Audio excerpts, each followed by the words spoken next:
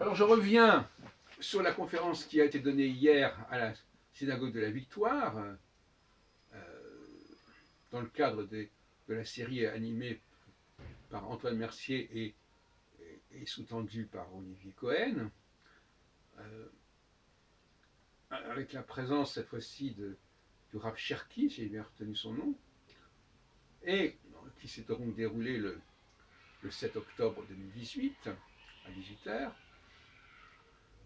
Alors, je voudrais dire deux choses. Premièrement, ce qui est intéressant, c'est que je crois qu'il parlait d'Huntington, euh, le choc de civilisation. Il y aurait quatre sphères, euh, quatre civilisations en quelque sorte. L'occidentale, l'orientale, la juive et l'arabe, arabo-musulman. Moi, ce qui m'intéresse, évidemment, c'est le 4. J'aime beaucoup quand on divise les choses en 4. Mais ça veut dire aussi, ce que je disais tout à l'heure, euh, que chaque sphère a ses, valeurs. Elles n'ont pas à être universelles.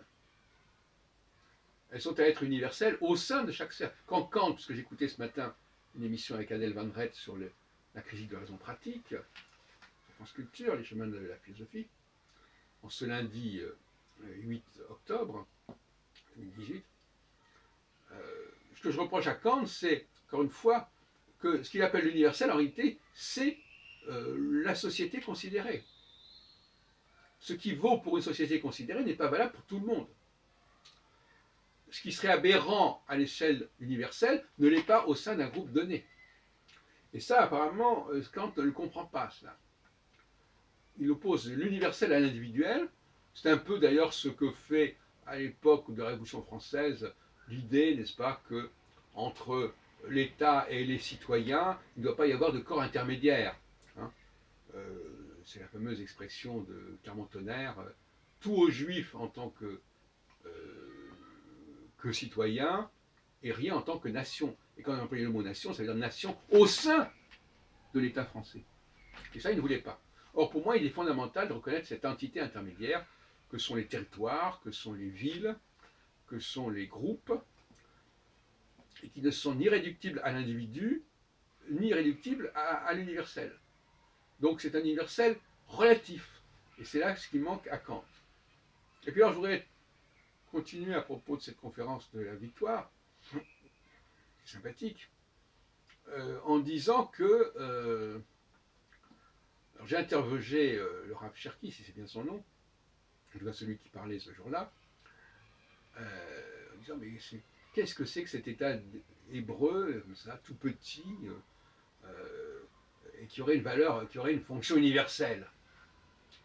Et je lui disais, mais alors il nous répond, ah oui, mais vous comprenez, euh, euh, les Juifs, c'est très peu de choses, et donc c'est symboliquement, ça montre bien que ce tout petit État, il a une valeur universelle. C'est une pirouette qui est intéressante, qui est sympathique. Mais je ne pense pas que ça résolve le problème. Qu'est-ce que tu as voulu euh, Bon, euh, est-ce que, ça fait sens au niveau d'une théologie, euh, cet petit, petit morceau exigu de territoire, quel que soit.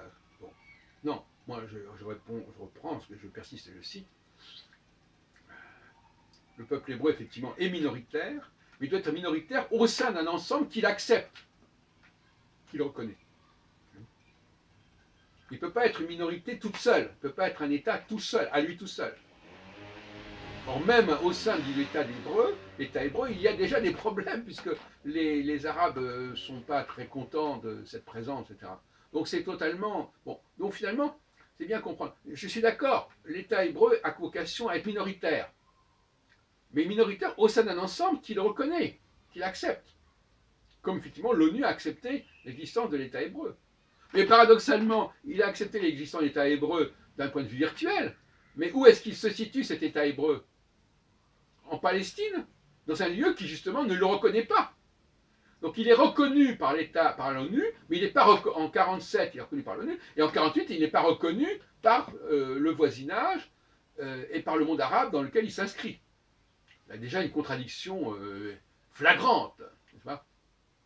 Donc là aussi, on retourne toujours le même problème à savoir que euh, on n'arrive pas à comprendre comment les choses s'organisent et s'articulent. Le peuple hébreu est minoritaire. Et en tant que, il doit vivre donc en tant que minorité au sein d'un ensemble qui le reconnaît. Voilà ma règle. Et voilà ce que j'appelle le sionisme bien compris. Et en ce sens-là, en France, par le consistoire, il est minoritaire dans un État qui reconnaît son existence en tant que peuple hébreu.